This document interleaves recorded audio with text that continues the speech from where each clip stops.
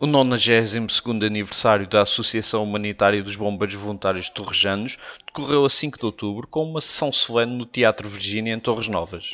A cerimónia contou com as distinções honoríficas aos sócios que fazem parte da associação há 50 anos, com decorações pela assiduidade e dedicação dos bombeiros e com discursos da Secretária de Estado da Proteção Civil, Patrícia Gaspar, do Presidente da Associação, Nuno Cruz, e do Presidente da Câmara de Torres Novas, Pedro Ferreira. Ao longo do dia, realizaram-se várias atividades, como o passeio das crianças pela cidade nos veículos dos bombeiros e o dia aberto no quartel.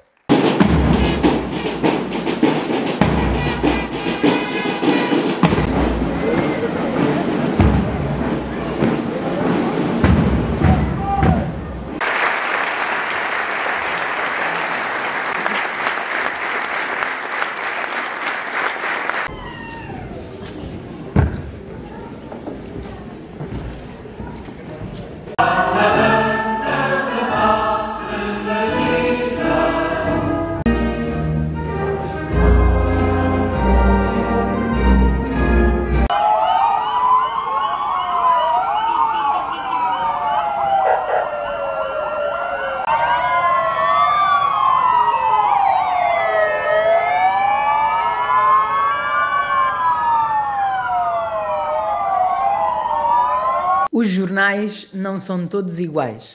Campanha de promoção da edição de aniversário de O Mirante, que vai para as bancas a 16 de novembro. Leia, assine e divulgue.